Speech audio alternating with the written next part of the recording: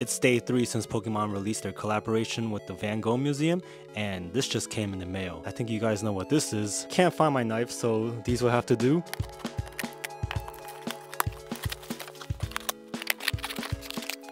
I'm so excited I can't even cut properly.